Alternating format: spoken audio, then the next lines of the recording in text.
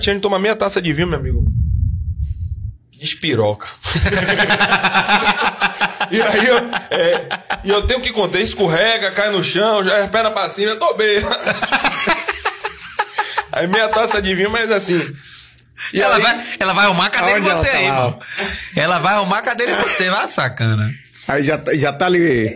Rapaz, não imaginei Sabe- que, eu- sabe, que uma eu vou- eu- pergunta eu- eu dessa vou- ia eu vou- gerar. Eu vou falar uma coisa pra você. Ia gerar um problema desse. Sabe, eu vou falar uma coisa pra você.